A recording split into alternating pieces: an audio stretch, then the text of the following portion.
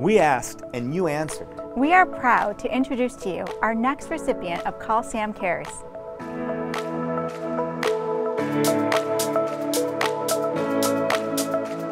I'm Beth Michelson and I'm a volunteer here at the Temple Beth El Braille Bindery. We take some of the most beloved and popular children's books, we transcribe them into Braille, and then we emboss them and bind them and ship them out to children who are blind and low vision across the country, all for free, and the kids can keep the books. The importance of blind children having access to books is that it promotes literacy in their world so they learn to read and write like everybody else. It helps them in their education, in their careers, and every aspect of their life in the future.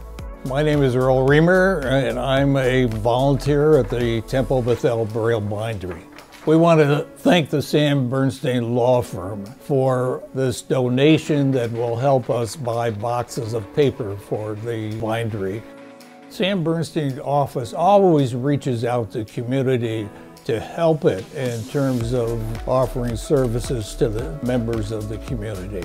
The Call Sam Cares program is doing wonderful things to support local small organizations. These organizations are often overlooked in the bigger, broader world of the big charities. And there's so much need in our community and helping children and all these other programs that are beneficiaries of the program is really untold. So we would really like to say thank you to the Sam Bernstein Law Firm for their program, their contribution to our Temple Bindery. Thank you. We are honored to recognize the wonderful groups, missions, and hardworking people making a difference in our community. Call Sam Cares is our commitment to our community.